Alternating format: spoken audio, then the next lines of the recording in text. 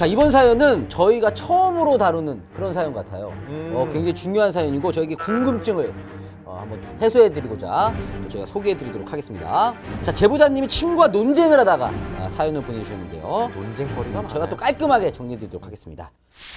오늘 제가 아는 친구랑 말다툼이 일어났는데요. 제 주장은 타워를 미는 것은 원딜러이고 협곡의 전령 버프는 타워를 밀 때 유용하기 때문에 원딜러가 먹고 타워를 밀어야 한다는 겁니다. 반면 제 친구의 주장은 순간이동이 있는 top이 먹으면 split 주도권을 가지게 되어 게임이 전반적으로 유리해지므로 top이 먹어야 한다는 겁니다. 누가 옳은 건지 롤 판사님들의 명확한 판단을 부탁드립니다. 이게 귀에 걸면 귀걸이고 코에 걸면 코걸이는 맞거든요. 지금 음. 상황 자체는. 그럼 일단은 예. 저희가 협곡의 전령의 어떤 buff 효과 이거에 대해서 좀 설명을 해드려야 될 것 같아요. 예, 협곡의 전령 같은 경우는 쉽게 설명해서 미니 바론 buff라고 생각하시면 될 것 같고요. 바론 buff의 효과를 주긴 주는데 바론 buff만큼 효과적이진 않습니다. 그런데 핵심이라고 볼 수 있는 강화 귀환, 귀환이 짧아지는 것과 그리고 minion들이 강해지는 것 이거 두 개 때문에 그리고 뭐 글골도 주고 협곡의 전령이 요즘 은근히 좀 올라가고 있는 것 같아요. 점점 주- 주가를 치고 있어요. 한 명의 champ에 챔피언에게만 그렇죠. 걸리는 거죠. 딱 어. 그 먹는 사람만. 그렇기 때문에 이런 또 이 논쟁이 일어나는 건데 이렇게 잡아놓고 딱 협곡의 전령 그 이제 buff가 떨어졌을 때 이걸 누가 가져갈지에 대한 이제 논쟁이라고 볼 수 있는데 아 저는 일단 가장 알기 쉽게 친구들끼리 원래 이런 거를 논쟁하는 방법은 뭐 요즘 말로 그님티라 그러죠. 뭐 그래서 님 tier가 원래 tier로 결정이 많이 나요. 아 그렇잖아요. 아 그렇죠. 뭐 싸우다가도 아 그래서 너 tier가 어디야? 뭐 이렇게 해서 뭐 tier 낮은 쪽은 보통 말을 못 하잖아요. 근데 뭐 둘이 tier는 그뭐 비슷하다고 치고 음. 아, 갑자기 말수가 줄어드셨. tier 얘기를 하니까 그님티에 살짝 아니, 살짝 키우기를- 움츠러드신 것 같아. 그러니까 친구들끼리는 보통 그렇게 아 하잖아요. 그럼요 그럼요 친구들끼리. 아 그럼요 예. 음. 그러면 이런 상황에서는 예. 사실은 뭐 저희가 정확한 상황은 알 수 없습니다만은 그렇죠. 단순히 원딜과 split push 주도권을 가지고 있는 top 이렇게만 생각을 한다면 누가 가지고 가는 것이 좋을까요? 아 굉장히 어려운 문제 같은데 분명 어렵습니다.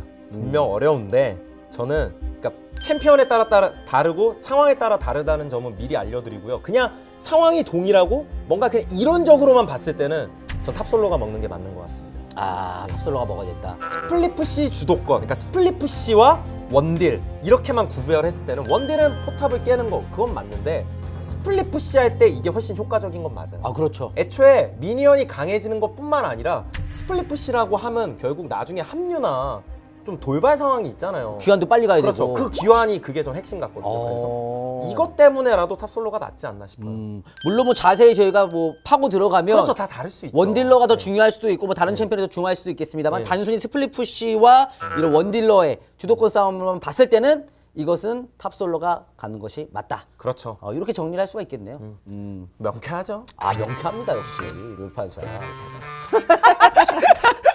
갑자기 잡복이야. 아, 요즘 약간 기, 지금 기분이 좀 좋아요. 예. 아, 그렇습니다. 알겠습니다. 아무튼 그래서 최근에는 이 LCK 롤챔스에서도 협곡의 전령을 프로게이머들이 굉장히 많이 가져가더라고요. 그렇죠. 많이 이제 그냥 버려두고 있다가 점점 이제 너프도 시켜놨고 협곡의 전령 스펙 자체를 어. 잡기가 좀 쉬워요. 음. 게다가 드래곤 먹을 때 놀고 있을 수는 없잖아요. 아, 그렇죠. 이거라도 먹어야죠. 음, 아무튼 협곡의 전령도 굉장히 중요한 buff 중에 하나고 어, 단순하게 이렇게 비교를 해봤을 때는 top이 가져가는 것이 오히려 좀 효과를 받을 수가 있다. 그렇죠. 저희가 이렇게 정리를 할 수가 있겠네요. 자 이번 사연은 정말 요즘 핫한 서포터라고 볼 수 있죠. 어떤 서포터? 바드 서포터. 바드 많이 나와요. 뭔가 슈퍼 플레이를 함과 동시에 근데 또 할 거 없을 땐 가만히 굉장히 어떻게 보면 약간 무능력한 챔피언. 무능력한데 음. 바드만 나오면 경기가 그렇게 재밌습니다. 일단 champ가 재밌게 어, 너무 생기긴 재밌어요. 했죠. 자 그래서 제목 역전의 바드. 아. 어, 제보자 정기효님. 안녕하세요. 저의 슈퍼 플레이를 제보하고자 사연을 보냅니다. 저는 바드를 플레이했습니다. 게임 내내 상대방에게 흔들리던 상황을 바드 궁과 그 뒤에 벌어진 한타를 이기면서 승리를 얻어냈습니다. 롤 판사님들의 평가 부탁드립니다. 아 이분 뭔가 그 딱 짧고 간략하게 우리가 어. 좋아하는 스타일. 핵심만 딱 짚었고 그러니까. 음. 슈퍼 플레이 게다가 뭐 mid 챔피언 top 챔피언도 아닌 서포터인 바드 음, 쉽지 최근에 또 않을 핫하기 텐데. 때문에 그쵸. 어떻게 보면 어 이분 정말 슈퍼 플레이라면 저희가 좀 높은 tier 음. 드릴 수 있을 것 같아요. 가능하죠. 네. 자 그럼 영상을 한번 보도록 하겠습니다. 게임은 좀 많이 불리해요. 굉장히 많이 불리하죠. 8천 골드 불리하고. 그 바드가 지금 압박을 받고 있는 팀이죠. 네. 어제 들어와서 워이게. 어? 제대로 들어왔어요 네 명에게. 오, 그리고 이후에 스턴까지. 예. 바로 녹여내고 킨드라 뒤로 도망가는 것도 좀 쫓아갔죠 바드가. 예, 시간 끌고 있는 것 같아요. 그 사이 앞라인을 정리해주는 아군들. 그러면서 결국에 바드 다- 살아갔어요. 예. 다 살았는데요. 그래서 그리고 도망가는 킨드레드까지 마무리하면서 한타를 대승. 결국에는 이 한타로 인해서 승리로 챙겼다고 해요. 다시 한번 볼까요? 예, 느린 그림으로 한번 보겠습니다. 분명히 위기였어요. 그렇죠. 빡 맞고 데미지도 좀 입고 있고 첸이 바텀을 밀고 있는 상황. 워이게 데미지가 들어가는 순간에 바둑은 들어갔고 끝나는 타이밍만 기다리고 있어요. 첸은 궁극기 탔습니다. 네, 워이 쪽으로. 제대로 들어갔어요. 그리고 르블랑이 그 사이에 이, 여기서 폭딜이 일단 잘 들어가서 그냥 녹이고 시작해서 이긴 이야. 것 같죠. 이게 좀 컸네. 블라디님, 코르키님이 오셨어도 이미 상황이 좀 늦었고 오자마자 물리고 예, 도발 걸렸어요. 첸한테. 그리고 저, 저 가드님이 끝까지 그래도 자기 할 역할을 잘해주셨어요. 쫓아가가지고 킨드레드 계속 팔등 걸고 묶어주고 사실 바드로 이런 플레이하기 쉽지는 않거든요. 그렇죠. 보기엔 쉬워. 보여도 어 왜 웃으세요? 도발 전멸이 웃깁니까? 아니요.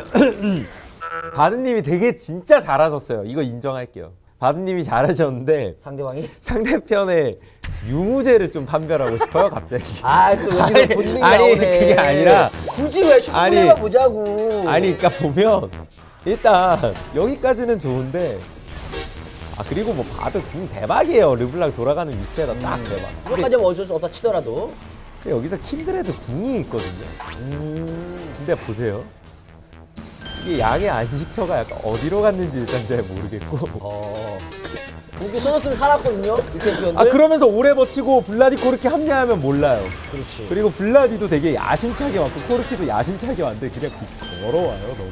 게다가 도발 바로 걸려요 코르키가. 막 물, 머리카락 막 물 리고 막 그리고 블라디가 이렇게 서서 막 이러고 있다가 그냥 이렇게 뭔가 되게 뒤를 음, 여기서도 바드님이 킨드레드 묶어둔 건 되게 좋은데 굳이 원래 안 쫓아가도 돼요. 여기에 그렇죠. 더 집중하는 게 맞아요. 근데 사실은 레드 팀의 슈퍼 플레이도 맞지만 예. 반대로 블루 팀의 어떤 틈이, 틈이 좀 너무 예. 넓었다. 거의 뭐 attack 땅으로 싸운 수준이다. 음. 그리고 반대로 좀 상대방 그러니까 레드 팀, 음. 어, 이 사연 보내주신 팀을 좀 추천을 해준다면 바텀에서 쉔이 밀고 있다가 사실 그냥 귀환으로 합류해도 되는데 한타가 벌어진 것을 알고 그냥 위험하지 않은 상황인데도 궁극기를 바로 타면서 바로 빠르게 합류해줘서 결국엔 도발로 그렇게 잡았단 말이에요. 그러니까 되게 좋았어요. 네, 그냥 바로 왔죠. 그러니까 이 장면만 보면 진짜 멋집니다. 뭐 상대편에 실수가 있었든 뭐든 간에 아 그럼요.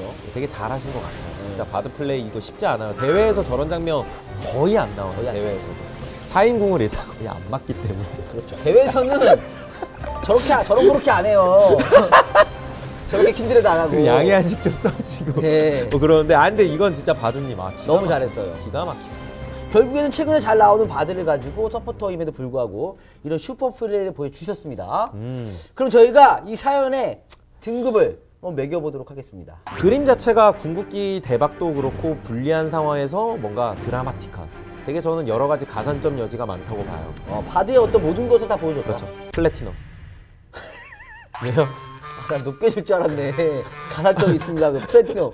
아니 플래티넘 정도면 높게 아, 줬잖아요. 높은 건 맞는데 네. 최근에 또 대세 바드 아니겠습니까? 이런 DC 엑스파일에서 바드란 챔피언을 소개해드리도록 그게 문제인 것 같아요. 보내주셨잖아요. 그게 문제인 것 같은데 뭐냐면 주연은 되게 기가 막혔거든요. 근데 조연들이 좀 상태가 많이 안 좋았어요. 상대방. 예. 상대방 분들이 되게 조연이 조연이 너무 이러고 있어서 이게 약간 어. 아 멋있긴 한데 아, 약간 이런 느낌? 그렇긴 하네. 그러니까 레드 팀이 굉장히 잘한 건 맞는데 네. 블루 팀까지도 굉장히 그렇죠. 잘했으면 그랬으면 그게 다이아 마스터 기가 막힌. 건데. 그렇죠. 아, 그렇지. 저희가 네. 다이아를 함부로 드릴 수가 없죠. 함부로 드리면 안 되잖아. 근데 플래티넘도 굉장히 높은 등급이라는 거. 아 맞습니다. 플레 정도면 뭐 엄청나죠. 그렇습니다. 어쨌든 역전의 바드 이 사연 보내주신 정기호님에게는 저희가 플래티넘 등급을 매겨드리도록 하겠습니다. DC X5